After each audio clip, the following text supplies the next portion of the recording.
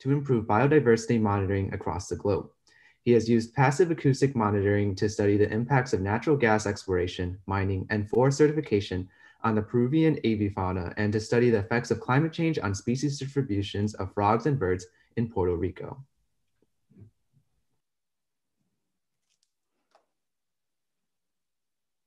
All right, should I get started? Okay, uh, thank you, Joyce, and thank you, Matthew. Um, my name is Zephyr Gold, and um, thank you so much for the introduction. I am the Director of uh, Product Impact and Client Success at Rainforest Connection. And um, looks like you guys have a really exciting weekend ahead. Uh, that was a great presentation, Joyce. Um, sounds like you know. Thank you for the to the Blueprint Planning Committee for inviting myself and Marconi to this uh, this day today. And um, yeah, just looks like you guys have a lot of exciting stuff to do this weekend. So I'm hoping that maybe sharing a few things about Rainforest Connection can help get those creative juices flowing and maybe um, inspire you guys a little bit about what we've we've done in the last uh, seven years. So, um, so Rainforest Connection is a nonprofit tech startup, and we are um, a uh, on the cutting edge of conservation technology. We, uh, we build and deploy scalable open source solutions that um, can monitor biodiversity around the world as well as halt illegal activities. So um, today I'm going to talk about the biodiversity monitoring technology that we do, just in line with the Blueprint for Progress uh, weekend uh, here, the theme. Thought I would talk, talk a little bit more about our biodiversity monitoring technology.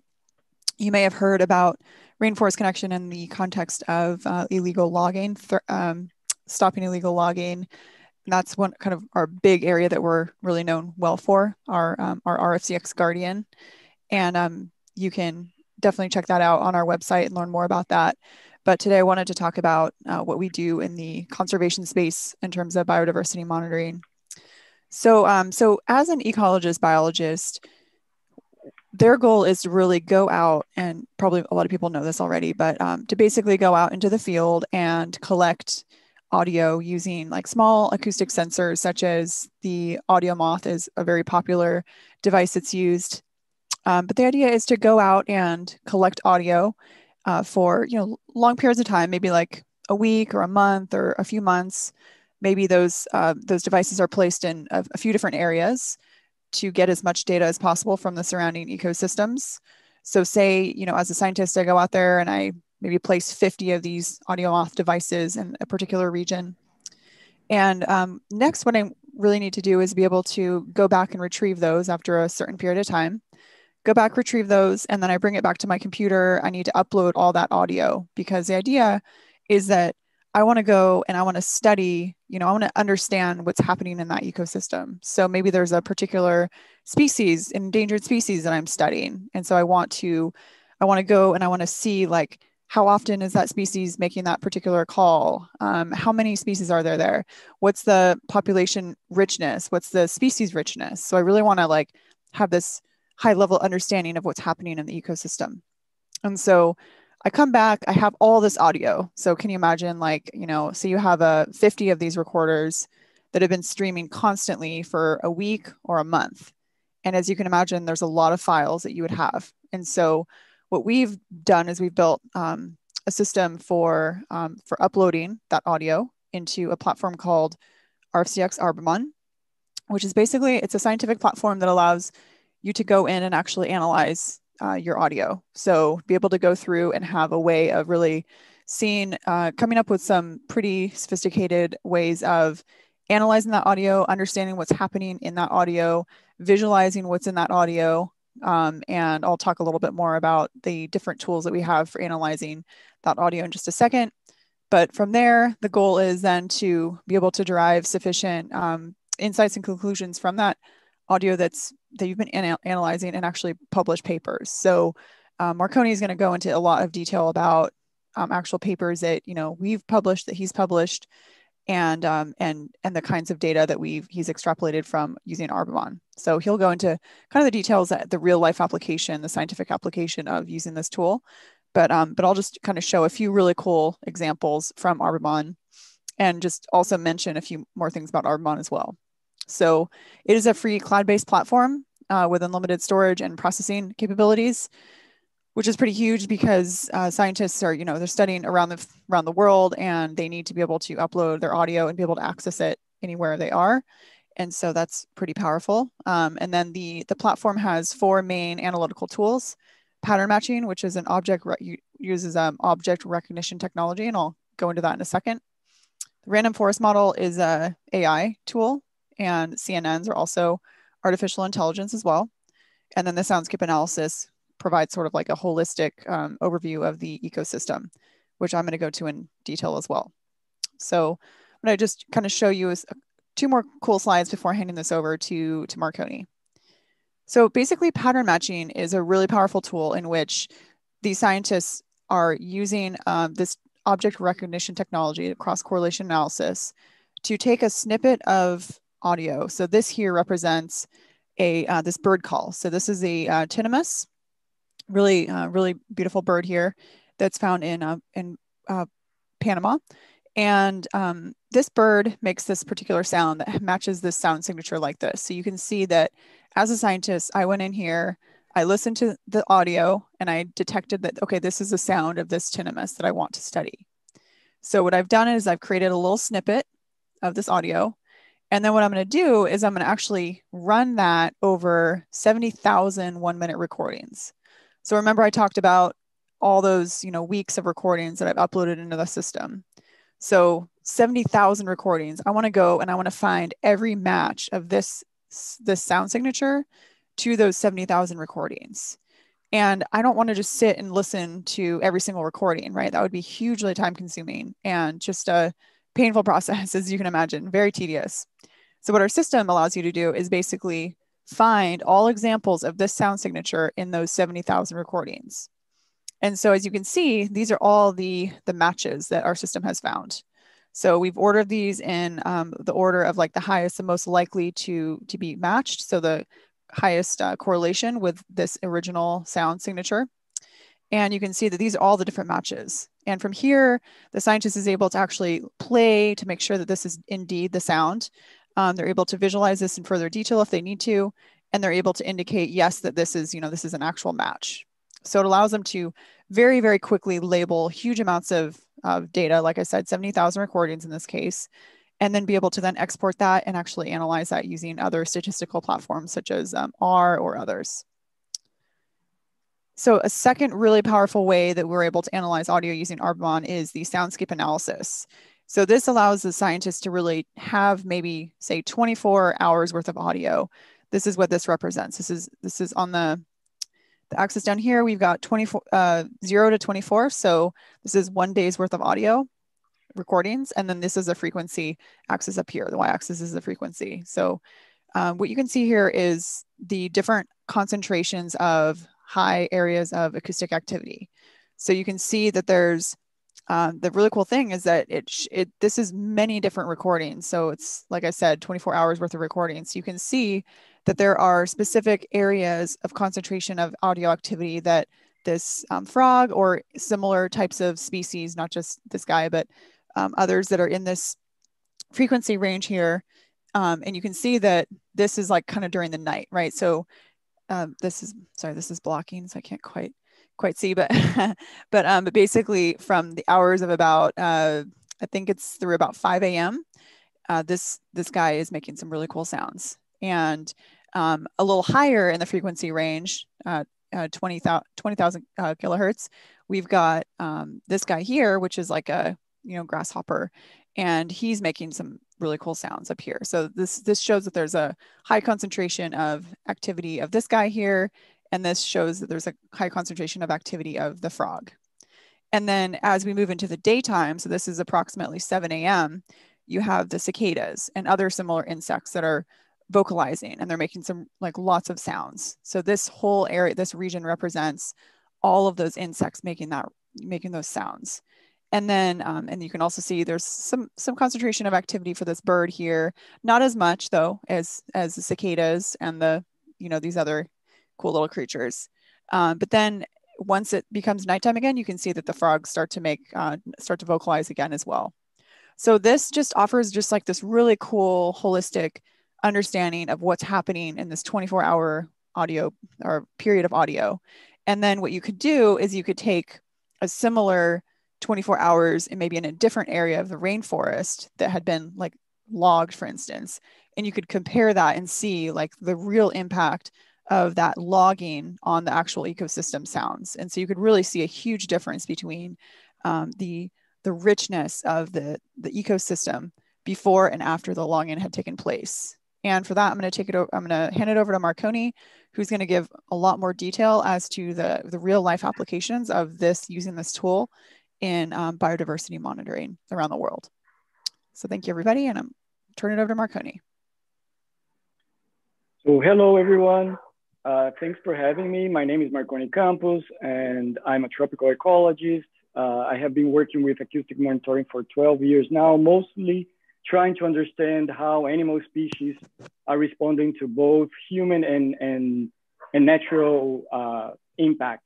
So here I just want to give you some examples on how we are using the Arbimon platform to really answer some of these important ecological questions. Um, can, can you move that for the next slide? Yeah, thank you. So one of the things that we are really interested in is to understand if, if we can use the soundscape analysis, the soundscape that just that, that Zeph just showed you to as a proxy to uh, species richness, to number of species. So let's take a look on those two soundscapes that we have uh, here in the page. So one is from Puerto Rico and another one is from the Peruvian Amazon. So we can read this uh, soundscape pretty much as the same way that Zeph uh, uh, showed us. So we have hours of the day and frequency, and the hot colors mean that, that we have like a lot of acoustic activity going on, and the colder colors means that we don't have much acoustic activity going on. So it is easy to see that uh, the soundscapes from the Peruvian Amazon is much more occupied, right? And and saturated. So we have much more acoustic activity going on on different hours of the day and in different frequencies. So one of the things that we did uh, was to um, try to uh, we, we, we sorry we evaluate we identify all bird, frog, mammal, and insect species in recordings in eight uh, forest sites in, in Latin America to try to see if we can see a correlation between the number of species and how saturated the soundscape were.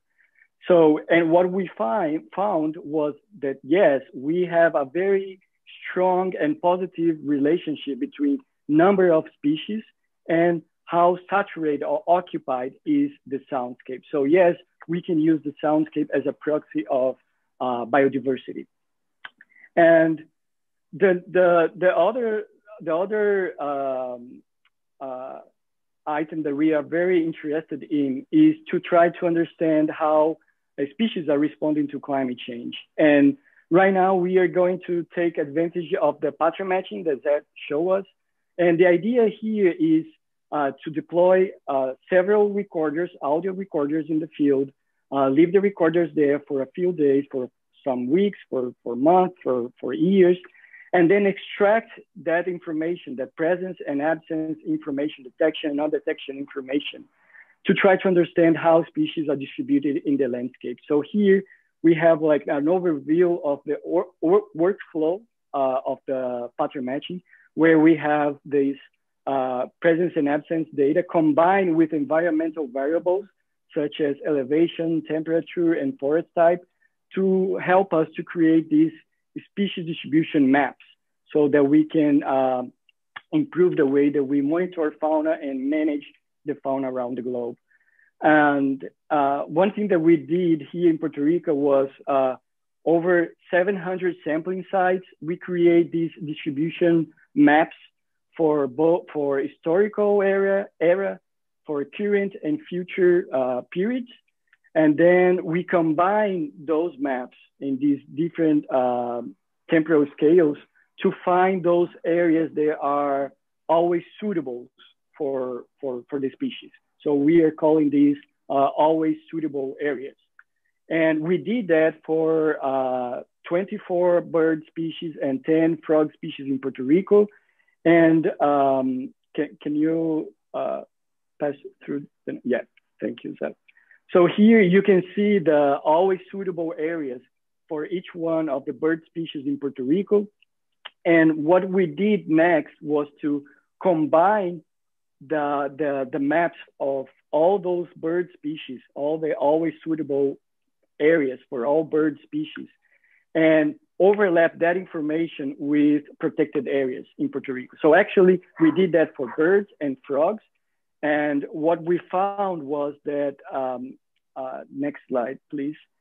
Uh, what we found was that, uh, so here, yeah, you can see uh, in the map, in, in this map here, uh, they're always suitable areas for birds. So you can see there is a high concentration of always suitable areas for birds in the west part of the island, whereas for frogs, we have a high concentration of uh, always suitable areas in the east part of the island. That makes totally sense because the east part of the island is much more humid and receive much more precipitation. And one of the, the main results of this study, and it's kind of sad, is that we found that the majority of always suitable areas for both birds and frogs are actually outside of protected areas.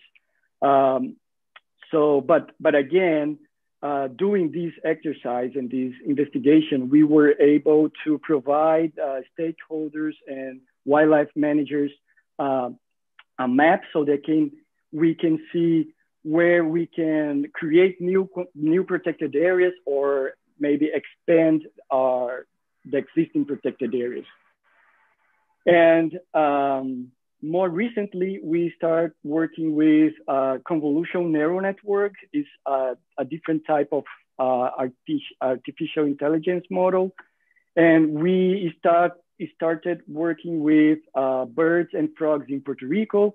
And I will not enter in details on how the convolutional neural network works, but one of the things that I love most in these kind of models is the ability to identify multiple species in just one click. Uh, the predictions are made in, in, the, in the raw recordings that we acquire directly from the field.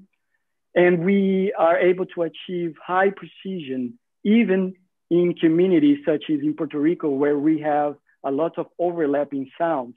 So here in this figure, you can see that we were able to achieve higher than 0.8 uh, in precision for, for, for most bird and frog species in Puerto Rico. And uh, we start to uh, move along with the CNNs. And right now the idea is to create uh, regional CNNs for different parts of the world and what I'm showing here uh, for you is not the results of the CNN because we are working right now to build that those CNN, but mostly what the, this table here show how we are using the pattern matching approach that I've just showed you to acquire uh, training data for this convolutional neural network. So actually what we are seeing here is how powerful is the pattern matching approach in identify and, and uh, different species. So you can see that right now for, for the Peruvian Amazon, we have more than 300 species detected in, in our database right now. In Ecuador, more than 200 species. In Panama, 120. Sumatra, 55, but that's still counting. We just started uh, working the Sumatra uh, data set. And also some interesting um, result, results is that we were able to identify some very endangered and endemic species in this data database. So the idea is to complete this uh, CNN in the next few few uh, months and then or weeks, hopefully, and then um, provide that information for for the community. And uh, I think that's it. I don't know if Zeph wants to uh, comment in, on something? No, no, that's it. Yeah, no, thanks so much, everybody, for you know checking us out, and uh, hope the yeah, I'll just turn it over to the next uh, next group of speakers. Thank yeah. you. Thank you, everyone. Thanks. Thank you, guys. That was really incredible. Um, so our next speaker is going to be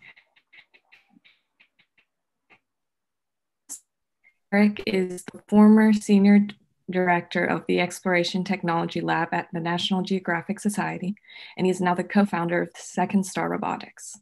As an engineer, he's done a lot of work developing technology for both terrestrial and marine conservation, including creating control systems for deep diving underwater robotics and discovering new methods for surveying archaeological sites with radar.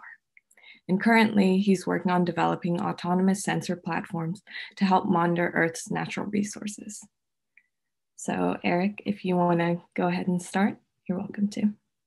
Thank you for the kind introduction. Um, I'll figure out how to share my screen again um, here, but I appreciate the opportunity. Thanks to the Duke Conservation as well as the um, the Committee for Blueprint. And here we go. Just okay. Um, um, anyway, thank you. Thanks for the opportunity. Um, my my talk is um, on technology and conservation from a small business perspective. A little bit of background for me. I um, started my career as a um, uh, engineer working for uh, a con- as a contractor for General Atomics, and we were developing a um, a system for capturing aircraft off of aircraft on aircraft carriers. The problem with the existing systems is they they damage the aircraft a little bit every time they land because of the stresses that were put on it. So we we basically built a system that would allow us to um, uh, actually um, use direct drive motors to to control the forces that the air, airframes are experiencing. And I, I, worked on the software to test that. So it was it was an interesting project. But then I got the opportunity to work for the National Geographic Society um, in the, Exploration Technology Lab, and eventually I became the senior director and served there for um, 12 years. And uh, we primarily supported um, National Geographic uh, media groups, uh, explorers and grantees, and um, and then some of the programmatic initiatives that National Geographic was working on. And um, one of those was um, doing a lot of work on uh, bio, biodiversity conservation, and they were focused, uh, in terms of like their activities, they were focused on surveying, monitoring, and protecting um, uh, regions of the the world. And uh, the one of the ones I'm referring to is called Pristine Seas, but and so we developed technology to help them out as well as um, as well as uh, supported them with uh, in the field uh, systems that were basically bought or uh, purchased by us. Um, so an example is uh, we developed this package called Critter Cam, which is basically a camera plus a bunch of sensors that we could put on um, marine life to get to actually see uh, up close what marine life are doing in their environment and um, uh, this is an example of, of, of us try, attempting to deploy it on a great white shark. So that the guy in the boat uh, without his shirt is actually my my partner, co business partner and co-founder of the company. And then uh, that's me with the this shark pole. It's kind of a low res image, but um, the idea is we lasso this um, over top of a, a, shark, and then we would um, and then we would basically get a bird's eye or a shark's eye view of what's going on. And if you uh, go on YouTube and look up, um, type in falling into a shark, you can see a funny video of us uh, maybe failing at that. Um, and then we also developed a system, uh, uh, a lander system for the deep sea called, um, we called it the drop cam. And basically we could deploy this in the ocean for low cost and collect uh, lit imagery of the seafloor. And um, this is an example of uh, a deployment in the Mariana Trench. That's actually the deepest jelly or deepest xenophile ever seen. And then the next part, you're going to see the deepest jellyfish ever seen. There's some more xenophyophores there. And we deployed this all over the world um, hundreds of times.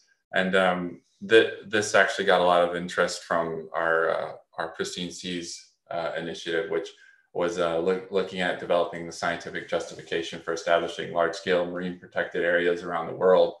Um, and uh, basically, they uh, used the dropcam technology to survey the deep water while there was a, a, scientific dive team surveying the shallow water. And then they would um, they they they would develop a, a, proposal and and get uh, large scale reserves um, or large scale no take reserves uh, established. And um, partly uh, because of this technology they've established over 6 million square kilometers of protected reserves around the world. Um, and then uh, a little over a year ago, um, my uh, coll- my colleague um, Charles Shepard and I decided that we would we would like to try something new, and we, we really enjoyed working at National Geographic, but we wanted to see what take our stab at starting a small business. So we started Second Star Robotics, and we're actually based in Richmond, Virginia, right down I-95 from Washington D.C. Um, we, we're currently um, part of the, the Build RVA um, product incubator.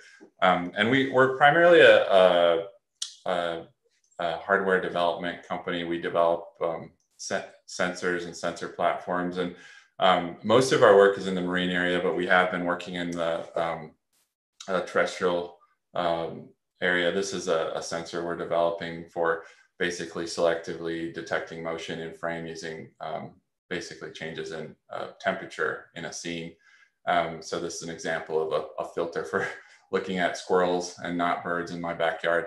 Um, so we'll, we're hoping to de deploy this type of system, hopefully in the Osa Peninsula Reserve um, in Costa Rica sometime later this year, but um, stay tuned for more on this. But most of our work's been in developing um, uh, technology for uh, actually exploring the, the deep sea and looking at deep sea biodiversity. So um, one of the, the places in the ocean where the um, most of the sea life actually lives, actually most animal, almost most of the animals on Earth live is um, in the deep scattering layer, and it's basically a, a thin uh, a layer of zooplankton that lives just below the, or exists just below the photic zone, where on the edge of the photic zone, and uh, these zooplankton travel up into the um, the upper regions of the ocean at night when the when the sun sets and uh, feed, and then they go back down as the sun rises. And this is uh, this migration is followed by the predators of those zooplankton as well, the lanternfish as well as predators of those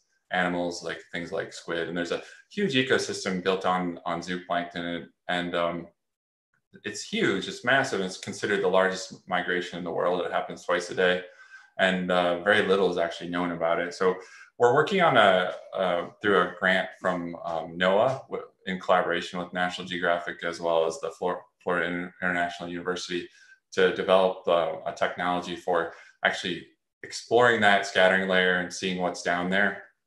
And um, and this is another image of the scattering layer migrating. So it, it this is a 48 hour period. So you can see that smudge is actually the um, acoustic sig the, they use an active acoustic sonar on the surface to observe where the animals are and then you can see it migrating to the surface fairly dramatically and then going back down.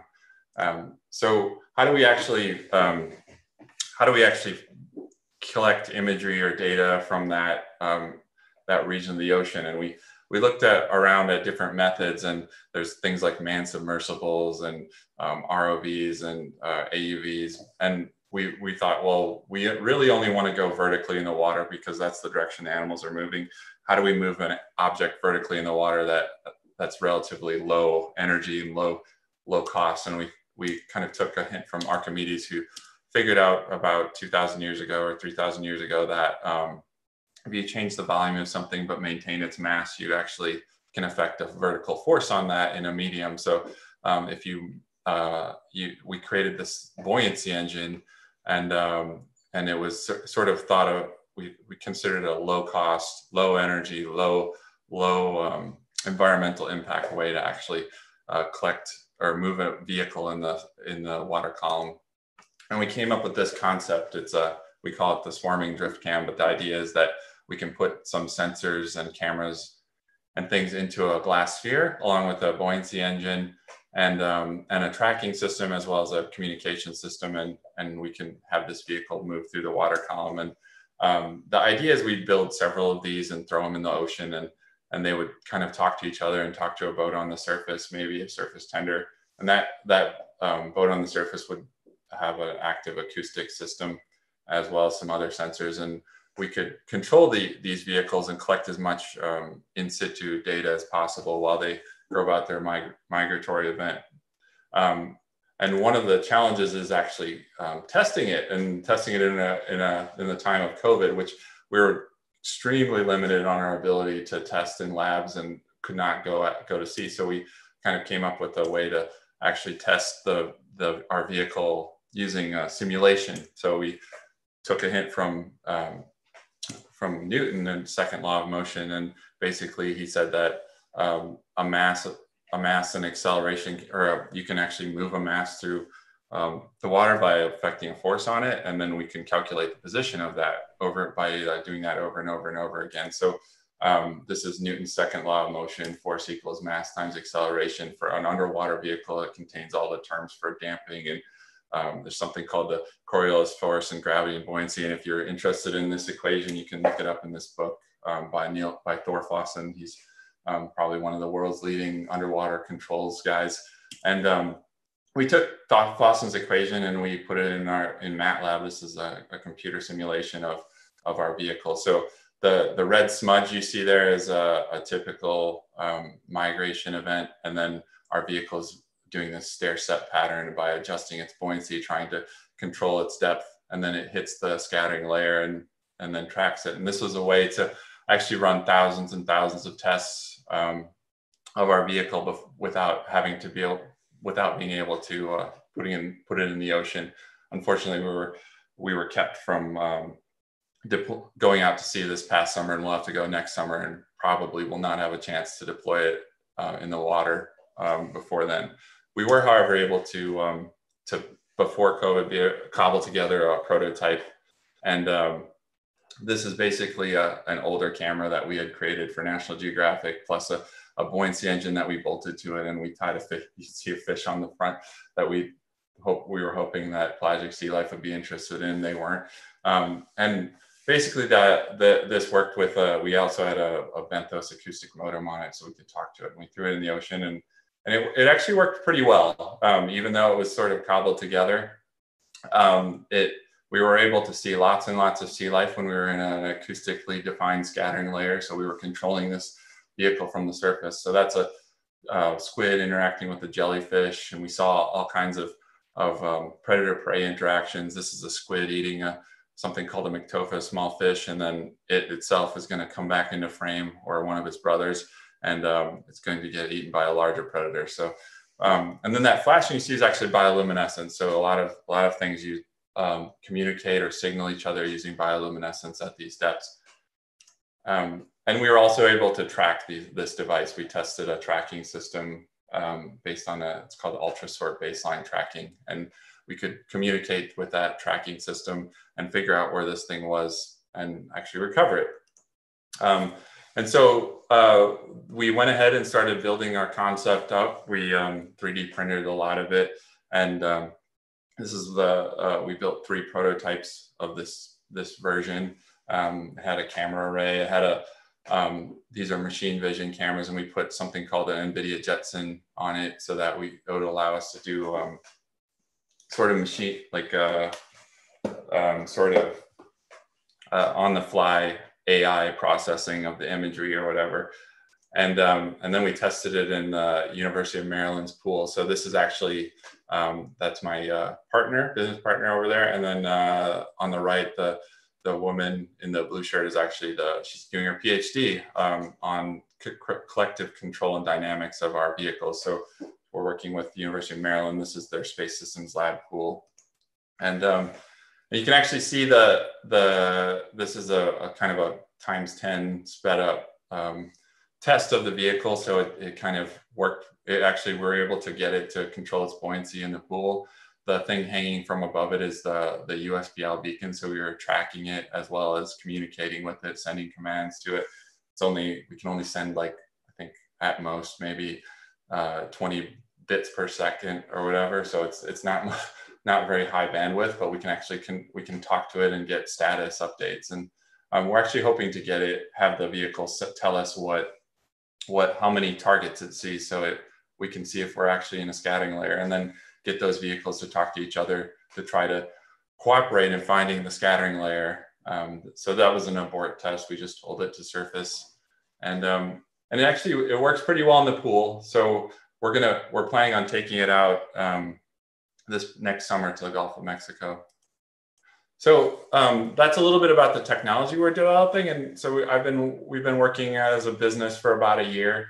Um, and uh, it gave us a lot of time to think really, really clearly about, you know, how do we make conservation technology sustainable and how do we develop solutions for um, for conservation as a for-profit company. And um, one of the you know things that we were kind of we, we kind of knew going into this was that academic and conservation markets are small. Um, you can you you can get lots and lots of money for extracting resources from the environment, but you can't get as much money for um, actually protecting those resources or conserving them. So, um, and then the other issue is developing new technology is expensive. The the tools are get, getting cheaper, especially for hardware development. I bought a um, network analyzer um, when I was in grad school uh, for like thirty thousand dollars, and um, last week I just bought one with roughly the same amount of capability for about $170. So the tools are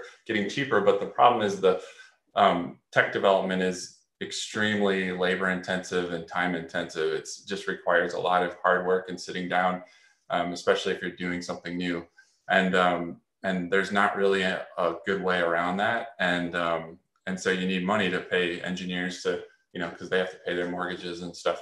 So um, how can we sustainably fund technology for conservation? And the, the obvious answer is I think we need to apply technology transfer. We need to, to take a, a look at the kinds of problems that we're solving in the conservation space and then think about how can we um, how can we how can we sell those ideas or or um, solutions to other markets that potentially might have the the funding and resources to pay for them and um, so an example is for the we're we're developing these pelagic ocean sensors. Well, who's looking at um, at putting sensors in the ocean? And the answer is pretty. There, there's a fairly short list, um, and the main one, the, the the folks that are looking the most at um, deep sea pelagic sensors is actually the U.S. Navy. So this is an example of um, sensors that the Navy deploys. This, they and they um, they use things called sonobuoys to to actually detect and track um, submarines. This is really important to the Navy, and they've spent,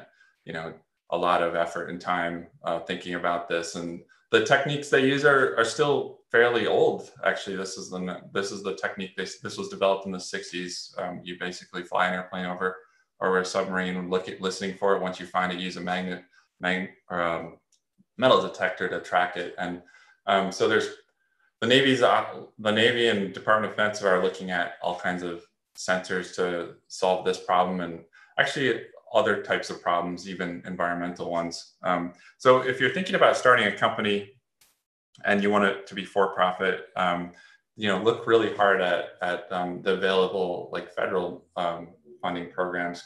Um, this is a, the, we're, we're actually engaging with the uh, SBIR program and, a, and we're, we're focused right now on, on the Navy SBIR, but there are tons and tons of these types of resources available. There's business consortiums that you can join to get, um, get uh, access to the people that have the problems that can pay for solutions. And, and then you can use that, that to develop technologies that could eventually be um, applied to a conservation space. So that's just my uh, my little my perspective on uh, business and and uh, and conservation. And I, I appreciate the time and thank you for allowing uh, allowing me to speak. And it, it's you know excited to see what you guys come up with. Well, thank you so much, Eric, for sharing your experiences with pushing conservation technology forward. Um, ending our keynote address today, we have Peter Houlihan. Peter, the current technical lead for the Global Rainforest X Prize competition, has led over 50 large scientific expeditions into more than 20 countries to examine how we can better protect and conserve our Earth's rainforests. In addition to collecting information on these understudied regions of the Earth, Peter has helped share the science of rainforest conservation internationally, appearing in a BAFTA-nominated BBC series with Sir David Attenborough and starring in the Emmy-nominated PBS documentary Chasing Ghosts. Please welcome Peter Houlihan and take it away.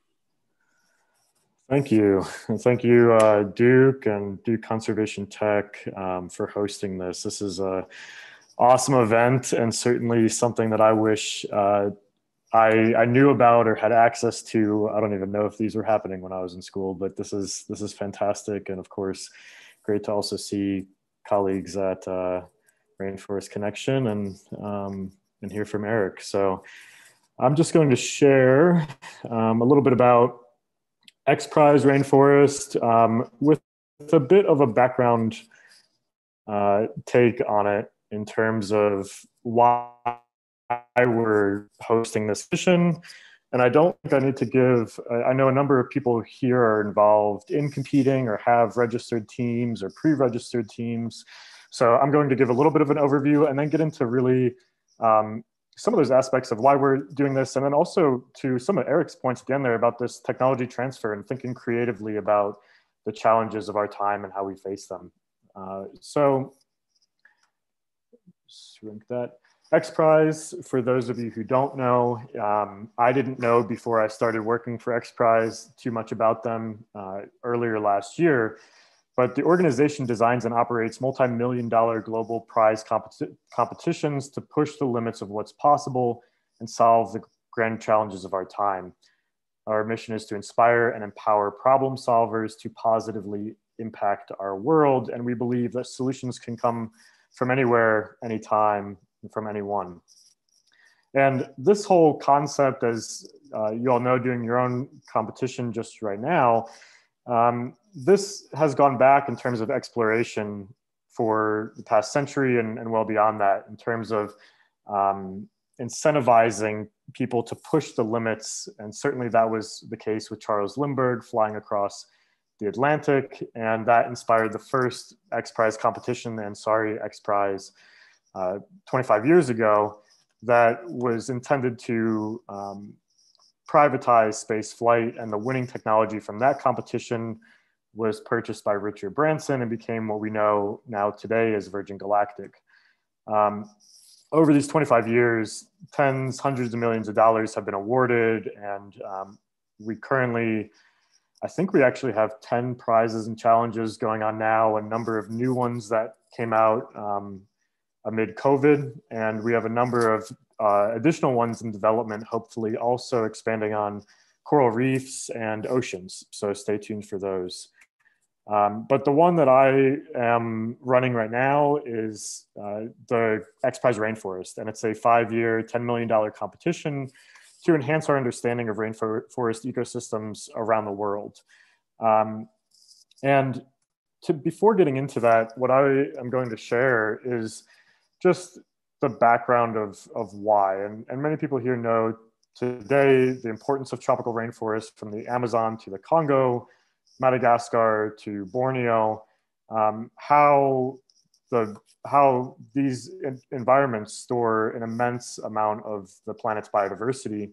Um, and throughout my career, that's been my uh, focus is, is tropical rainforests conservation and the biodiversity in these environments, leading many different scientific and documentary media expeditions, uh, many of them with National Geographic, to document these threatened environments, um, working with indigenous peoples and local communities who uh, live within and adjacent to these communities and share and hold an immense amount of knowledge about them. Um, and under, better understanding this interconnectedness of our planet and biodiversity um, to inform conservation. And as we all are aware, tropical rainforests around the world are um, impacted many different ways through logging, um, mining, agriculture, um, you name it. So, um, and poaching as well.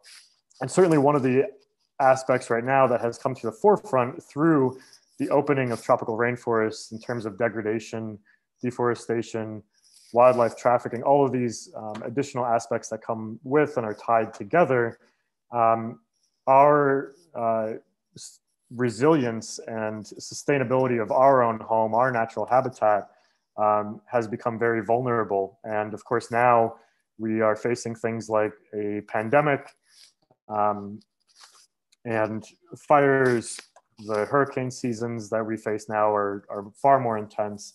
Um, and all of these things are, are interconnected. And much of that, um, as we know, has to do with uh, ecological tipping points. And you know, right now where we're at with the Amazon is approaching um, these points of no return in terms of ecological collapse. And what I'm going to share right now is just a little bit of the behind the scenes of the expeditions that I've uh, coordinated logistics for and led over the years with teams of local scientists to document tropical rainforest biodiversity to inform conservation action and policy. But as several people know here, this whole process is very time and labor intensive. And as Eric was explaining, the process also of developing new technologies is um, extensive as well. And so right now, given the urgency of the threats that uh, we face in tropical rainforests, while I and many others love the field biology aspect of expeditions, we don't, we simply don't have the same amount of time to carry out these extensive processes. Um, while this work will always be important, we need to continually um, find ways to more rapidly, remotely monitor and document um, and collect data and analyze data from these environments. And so um, many of these slides are from uh, just dozens of expeditions around tropical rainforests around the world. But um, this process of spending months or years in the field collecting data, um, unfortunately, we just we don't have that time for many of the actions that need to be taken these days. Um, and so that uh, really inspired these aspects of XPRIZE Rainforest and incentivizing novel technologies. And of course, there are technologies that we have been using, um, deploying in tropical rainforests around the world to monitor biodiversity.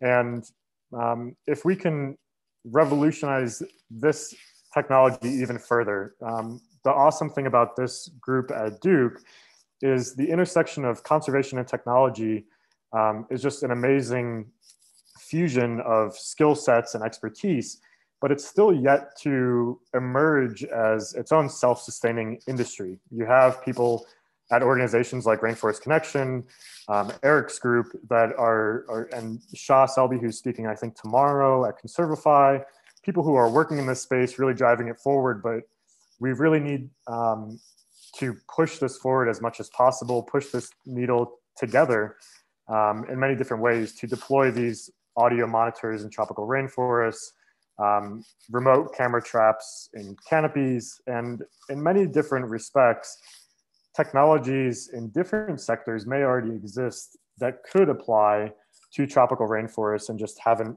been yet. And so that's where I think we need to think um, in very interdisciplinary ways, but also collaborative ways coming from academia or tech sectors. I think we're all aware that many different fields are, are pretty siloed. Um, and if we can expand to beyond that and form very interdisciplinary, international, creative teams, I think we can come up with new breakthroughs uh, to solutions.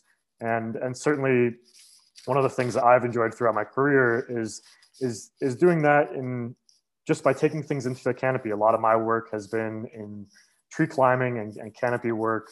And um, here, just a year ago in the Congo Basin, we were installing a, a, wireless network in, in Cameroon, and that feeds off of um, new technology as well, with you know companies like SpaceX putting new satellites um, in the atmosphere. So um, all of that is to say the complex nature of tropical rainforests. We are here focused on um, the most complex terrestrial environments on the planet. And I think that is one aspect of the sheer biodiversity in these environments that lure many of us in to study these places. It also makes um, the challenges facing them very tricky and therefore the solutions that we um, employ in conservation for tropical rainforests must be you know equally diverse and varied um, and complex in nature and so with that um, i'm going to share just a quick video about um, XPRIZE rainforest. I might have to reshare my screen very quickly. Uh, here you go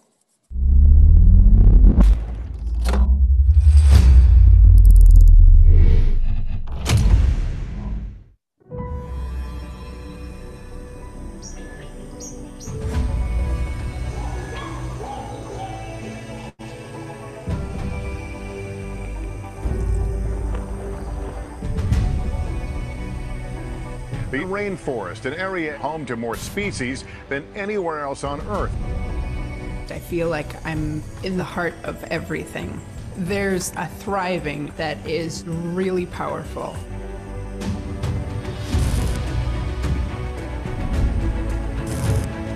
An area that cleans our air, purifies our water, and holds many of the important solutions to tomorrow's problems. This rainforest is instrumental to the survival of the entire human race.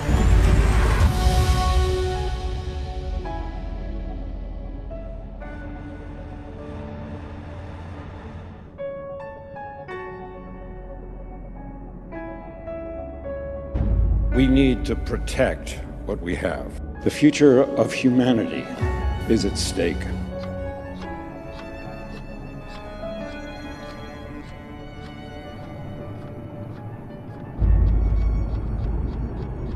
How can we monitor a large area of forests that would provide us with a view of the tropical forest functioning?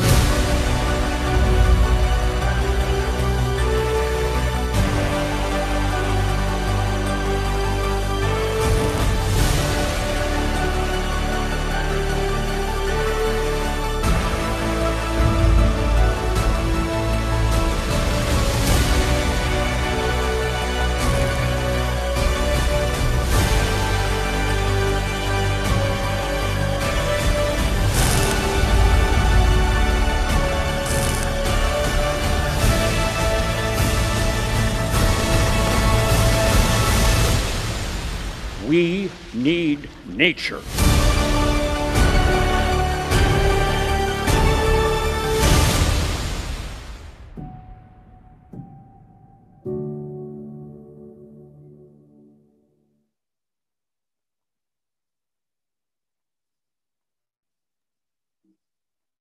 So uh, just a few last points on this with that um, nice intro and uh, powerful words from one of our advisory board members, Harrison Ford.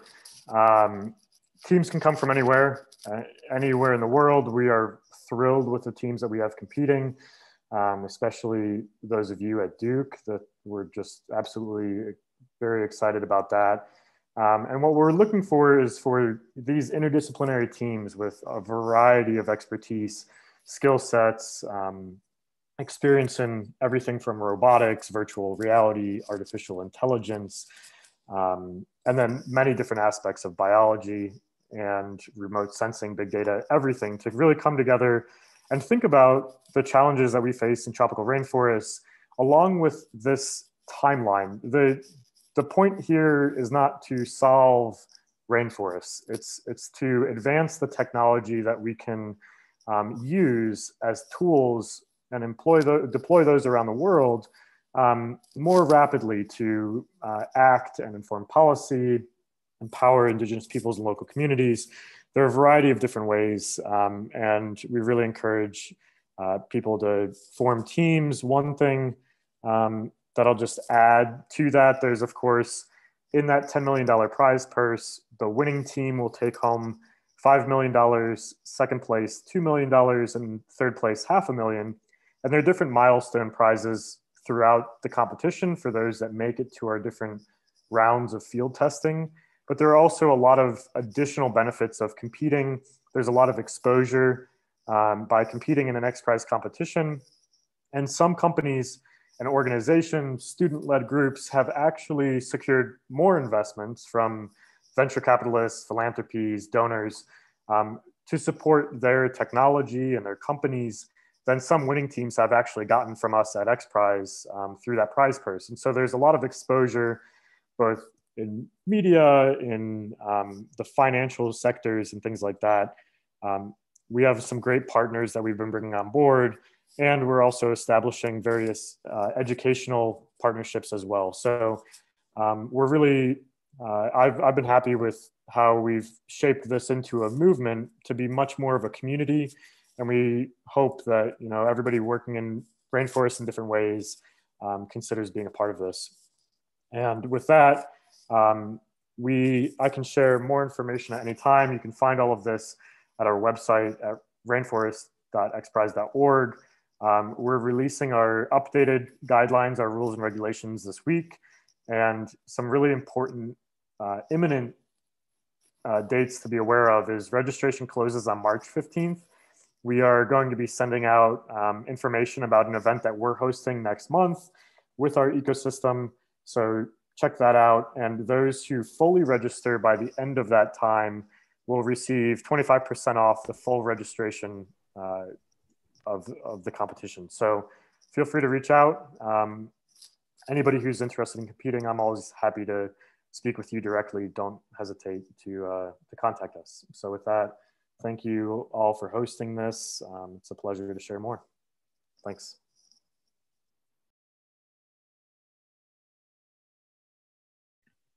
Okay, thank you to all of our speakers. Those were some really incredible speeches and I think that they're going to really help our teams as they start thinking about their ideation process and what kind of projects they want to pursue.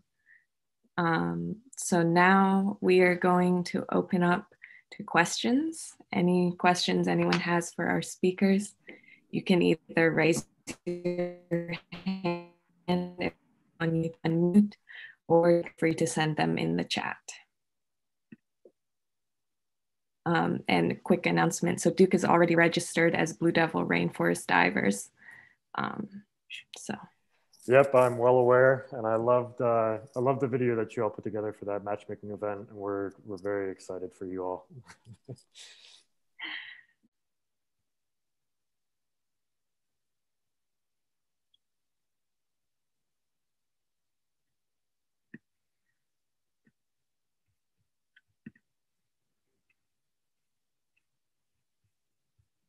Okay, looks like people are being a bit shy.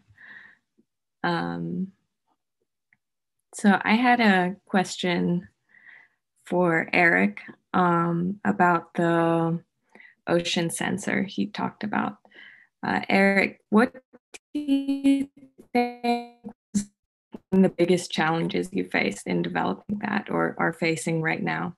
Um, um, I guess it's access to testing right now. It's uh, we're we were hoping to open an office um, right around the time that uh, I guess March or so last year, and um, and we we've been kind of stuck. This is actually my house behind me. My, my it's a bedroom converted into a lab, um, and so uh, just being able to um, uh, in hardware development at least, it just requires a ton of testing. You design build something, maybe that takes you know 30% of the time and then the rest of the time you you just figure out how to test it and test it and test it so you know it works in the field. So that's i guess that's been the number one challenge right now.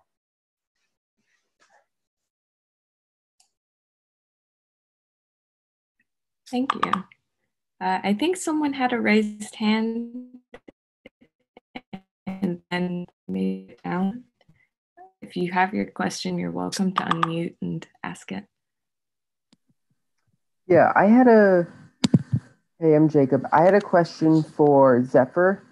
Um, I was wondering for, with your soundscapes, how you were able to distinguish between um, animals that produce sounds that the microphones couldn't pick up, like wavelengths that weren't captured there, um, and if there were any overlapping wavelengths between animals, so that you couldn't distinguish between two different different sound um, identifiers.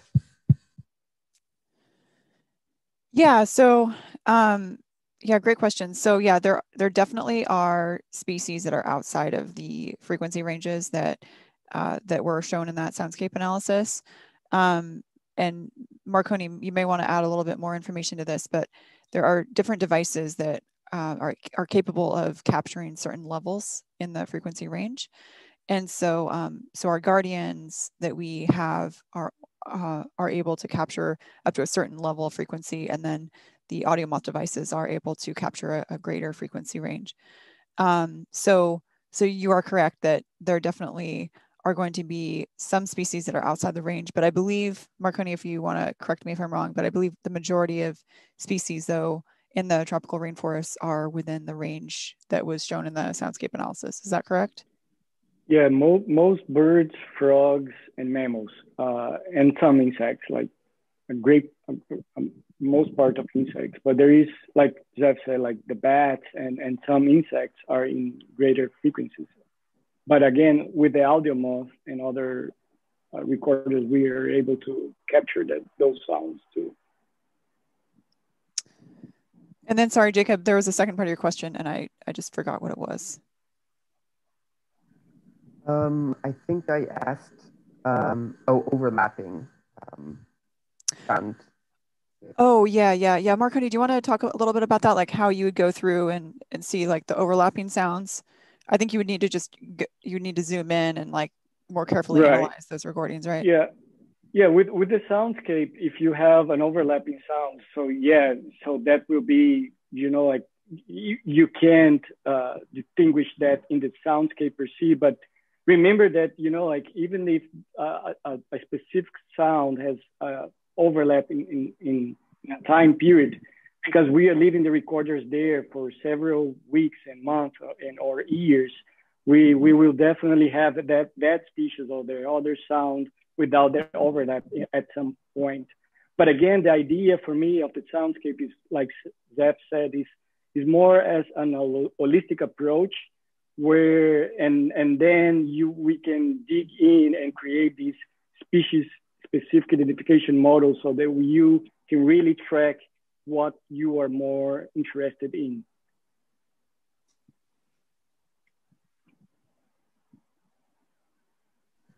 Thank you. I also saw that there was another question that came through that I can also speak to as well um, because we are we do a lot in the area of I didn't talk too much about that today, but in the area of protecting rainforests against um, illegal threats such as illegal logging. Um, so so yes, there's a huge huge issue with um, enforcement of laws, getting there in time. Like both of those are, are big problems. So just to kind of as an example, um, this just happened recently in one of our sites. So we have a we have a Guardian, which is like a, a, an acoustic sensor that's running that's streaming constantly um, that then uh, we using AI are able to detect sounds of, of illegal chainsaw noise. And uh, we inform partners on the ground, you know, that, hey, this is a bunch of chainsaw noises that are occurring. And we let them know exactly where they can go, where the, these people that we partner with on the ground can actually go and, and intervene.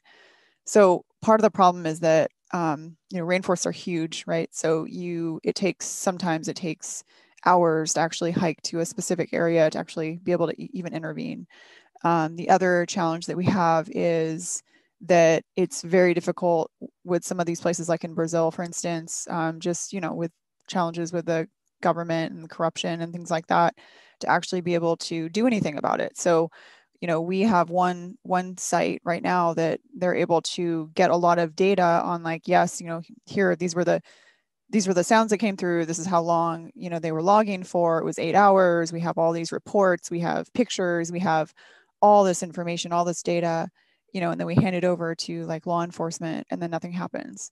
So there's um, tremendous challenges of not just being able to identify that it's happening. Like we are identifying it's happening. It's happening all the time. It's terrible, actually. It's just over the last few weeks, there's just been constant activity, chainsaw activity and very little that anyone was able to actually do to to protect those forests. And so um, there's you know we we work really closely with trying to build as many partnerships on the ground with any kind of like law enforcement, any kind of um, anyone who's interested in in being able to do something about this. You know, actually take these people and and and do something to to stop them. Um, but it's it's extremely challenging. It's a very challenging area of of focus and we try as much as possible to to um, to target that but it's it's quite challenging so i would say that there's barriers in, in all those different areas um, getting there in time as well as just the lack of enforcement of the laws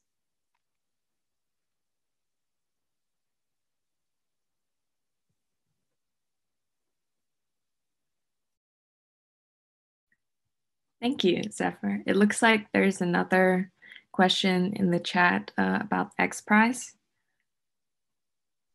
All right, let me, let me pull it up. um, and I, I, agree completely with what Zephyr just said. I was just in the Brazilian Amazon last month. Um, and some of those images I shared were, were from there. So um, what kind of environmental justice issues and solutions do competitions go over for X Prize events, specifically related to Indigenous people? Um, yeah, so we have X Prize Rainforest was started primarily as a technology competition. And certainly when I came on board, I wanted to find as many ways as possible for this competition to benefit our field. Um, a competition of this scale, I thought was uh, really amazing to be focused on rainforests. And for conservation in this uh, field to be successful, of course, it needs to be inclusive of indigenous peoples and local communities who, um, you know, about 80% of the biodiversity on the planet exists on indigenous lands and many indigenous peoples and local communities are far better stewards of that land um, than any other alternatives. And so through this competition, we've established an IPLC working group um, with, uh, along with many of our partners. So with the GCF Task Force, Governor's Climate and Forest Task Force, with their um, IPLC working group, as well as organizations like Nia Tero and others. It's a very, um, as well as some of our advisory board members. And so um, basically what we're doing, given that it's such a long-term prize, it's a, we're one year into a five-year competition. And the intent is to just um, have regular meetings and consult and um, with this group throughout every stage of the competition, but also after the close of registration, to provide immersive workshop experiences for our teams. So um, that, of course, is going to be COVID dependent. We have a few in mind that will start um, probably this summer virtually that will provide access to our teams to different conservation tech uh, case studies with different um, communities around the world, what has worked, lessons learned, things like that. Um, we'll start a few of those events virtually this year, and then throughout the competition provide um, more opportunities for engagement and learning and that knowledge transfer throughout, understanding that um, there is a lot of knowledge that is already contained and amassed uh, about these environments that needs to be included into other um, traditional or whatever um, approaches. So uh, there, there are many different ways in which we're working towards this and always happy to speak more to that.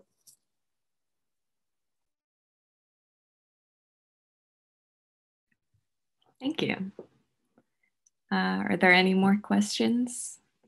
Just raise your hand or type in chat.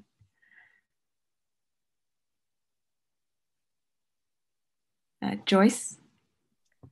Um, this question is for all of the speakers, um, whoever wants to answer, but um, recently I saw like an article about um, how like the Amazon would be degraded by like 2064 due to deforestation. Um, and just going off of that, given like the abundance of like doom and gloom discourse about these various topics in the rainforest um, and degradation and all of that, what gives you hope to continue tackling these projects? Um, and like what energizes you as you're working on these efforts?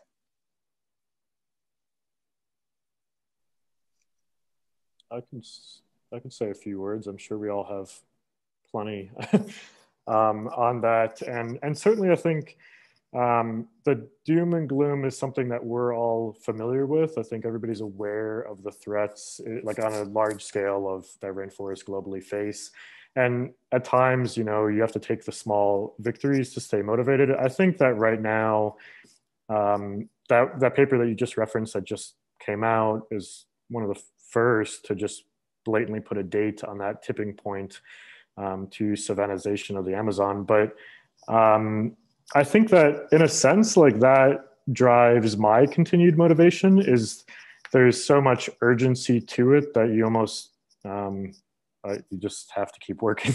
um, I think that it's interesting. A lot of my work is also in media, and it's always been interesting to kind of ride that line of, um, you know, how for a long time, I think there was generations that we kind of grew up watching natural history documentaries that were showcasing the beauty of the world that kind of inspired you through that way and not showing too much of the gloom to turn people away right now, I think we're at a point where we have this decade um, to really urgently make a huge difference. Um, there isn't that time to um, wait to inspire a next generation. I think it's all on us inherently to do it right now. So for me, that's the motivation. Um, I'm sure everybody has different opinions and, and perspectives on that.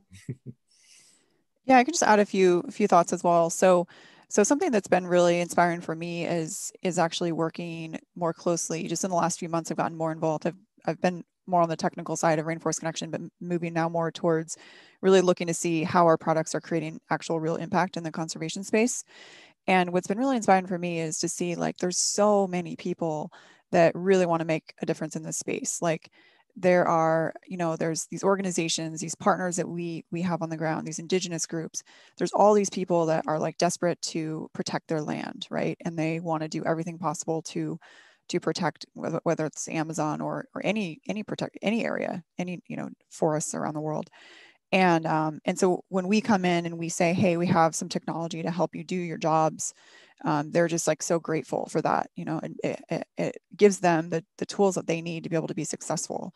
You know, because they can't cover huge huge amounts of rainforest on their own just with their own ears, right? They need to be able to know like where are these chainsaw noises coming from. So, uh, so, so it's super inspiring to meet all these people around the world that really are dedicated to or and committed to this you know this is like this is their their area this is their land like they want to protect it so much and so for me that's really inspiring. And um and just in general like even just in the US like the number of people that reach out to us all the time that are like really passionate about conservation climate change wanting to wanting to make a difference we get probably 10 people every week that want to work with us in some capacity at least you know? And um, and that's really inspiring for me. And i've never i you know spent most of my career in um, like the for-profit space. And it's just like it just gives me so much like i don't know how to like it's like super motivating to come to work and just be surrounded by all these people who really care deeply about nature you know so i can't even imagine like not doing this anymore because it's just like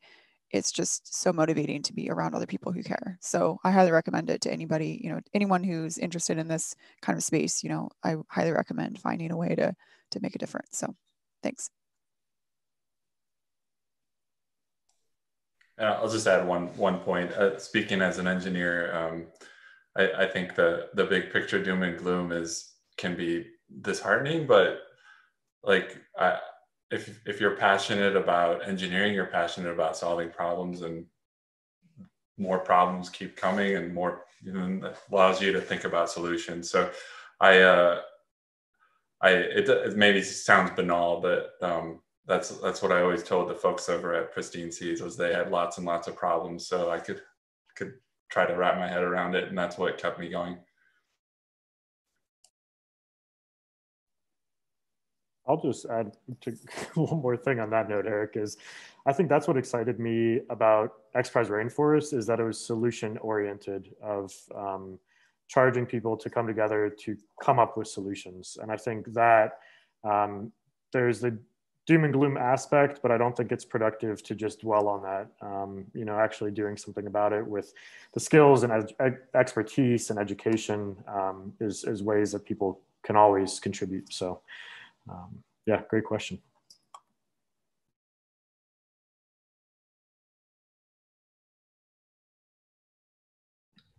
All right, it seems like there's another question in the chat from Connor. What are the methods to restoring ecologically damaged sites in the rainforest? What challenges come with these methods? And how are US companies or the US government involved in the destruction of the rainforest?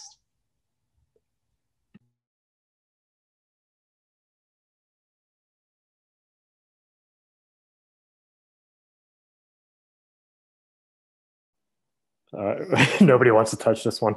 Um, well, the first part, uh, restoring ecologically damaged sites, I think it, going back to Zephyr's point about um, governance and with every single location that we work in, there are different methods, there are different policies, there are different actions. Um, and so certainly I think the on the ground aspects of working locally, um, there are many different that's a whole field of restoration. Um, certainly, the challenges that that come with that are you know, the ways in which places have been ecologically damaged in the first place, um, and what what structure, what framework is in place to really um, support these efforts. Uh, so I think that that that's a very broad. Um, I think one of the things that we face is how different approaches are in all of these different tropical locations, um,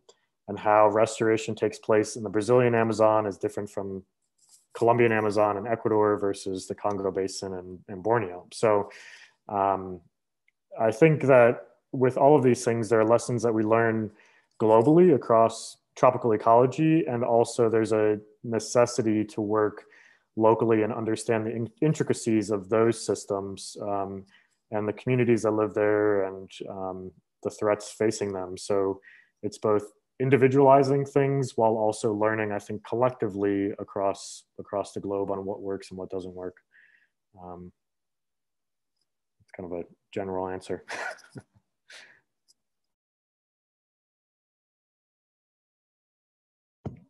How can trustworthy relationships be developed with indigenous groups when the US has such an imperialist reputation?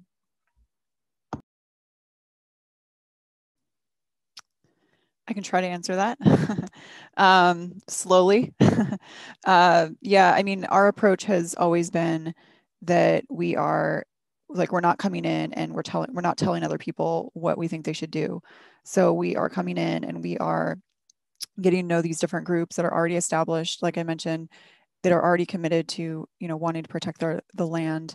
Um, and we're just coming in to provide them with the tools and technology to help them better do those jobs. So I think it's it's taken a lot of um,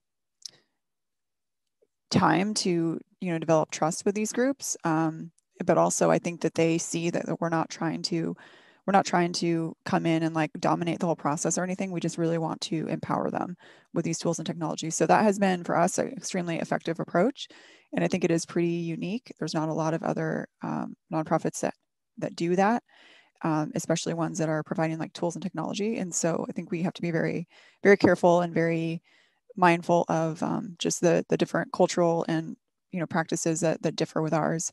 So a lot of that just comes with like time and patience. Like just as a practical example, um, we're working with a site right now in Western Sumatra, and you know we have to be really mindful of um, making sure that we don't schedule calls when they're doing their prayer practices or we are um, very patient. You know, if we have to wait 30 minutes, 45 minutes to get on a call with them, like we just kind of have to wait, you know, or it's it's it's like we're operating on jungle time, you know. So you have to be um, just really aware of what those sort of cultural traditions are, practices are, and be able to um, to kind of like um, be patient. I think I would say so. Just, but yeah, that, that's a. There's lots of other pieces to that question, but I think that just gives like a, a general overview there. Things to consider. If I can just add a quick point to that, I think it's also including people in the process through co-design and partnership rather than this like distant beneficiary of um, we're going to do this hand it off and it will benefit um, you know i think the process of co-designing projects together working on things as partners um, is one provides an opportunity to be informed of the knowledge and policies and practice um, that exist there and that people already have. Um, but it also ensures that those solutions will be successful in the end because the people that you or we say that it's going to benefit were included and involved in the process from the start and throughout. And that certainly going back to Zephyr's point involves a lot of times, I think for us as field biologists, um, that you know can mean living in communities or living in different areas fully immersed for long periods of time learning languages um, and not going in even with your project at the forefront first but getting to know people and what uh, those challenges are inherently and then figuring it out but not going in like with this all these preconceived notions of this is how it's going to work before i even get on a plane and go somewhere, but um, kind of developing it organically and being willing to admit, admit, you're totally wrong and adapt those ideas and um, I would always advocate for learning languages everywhere you work um, and putting in that work to be able to have those conversations um, with people directly. Thank you. It sounds like you've done it a lot, many times. That, before this year, that was that was my whole life.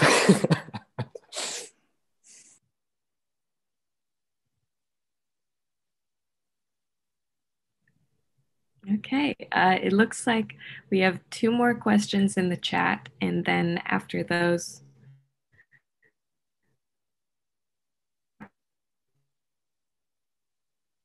While the advancement and spread of conservation technology is impressive, degradation is still occurring rapidly. Would it not be a better use of resources to provide environmental education to those who destroy rainforest habitat, which preemptive suppression versus mitigation, and introduce alternative livelihood opportunities?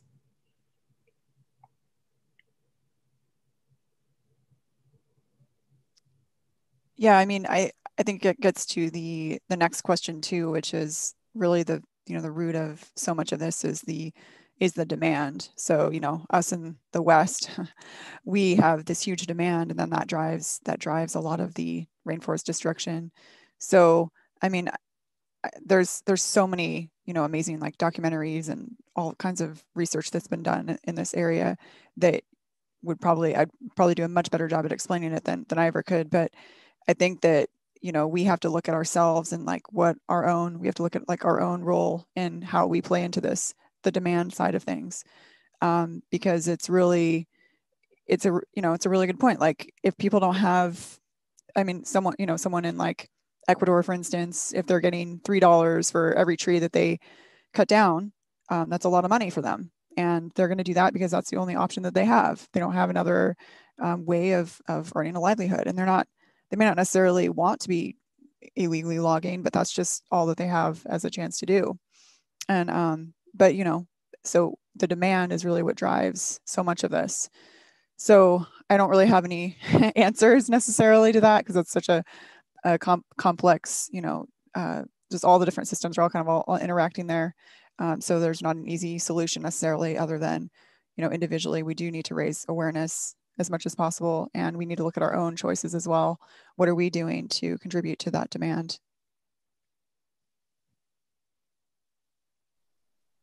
Yeah, I would also say, so the way the question's phrased, I think sometimes we also all face um, that certain things are more effective than others or something should be done instead of a different approach. I think um, contrary, like we actually need more people in, across all sectors focused on this same um, environment and solutions towards that coming from many different backgrounds. And like full disclosure, I guess when I came on board at X Prize, that was one of my questions of, so we have this prize purse, we have this operational budget on top of that.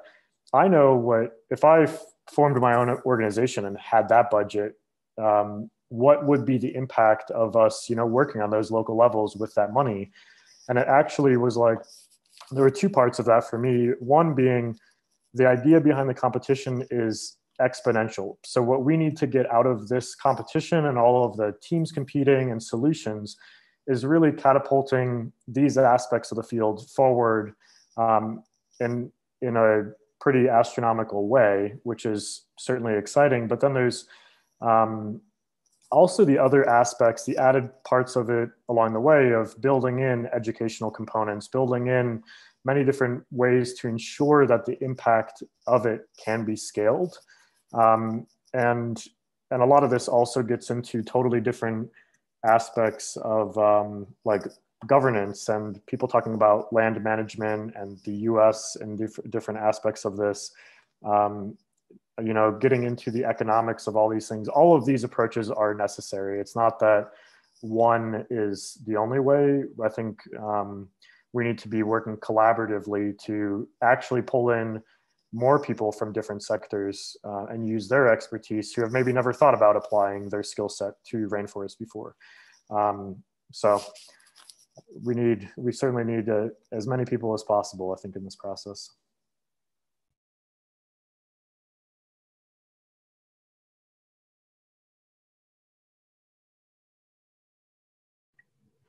Okay, Well, thank you all for coming out. Um, speakers for taking the time to do this. We really appreciate it. And I think you guys have been incredibly helpful um, and insightful.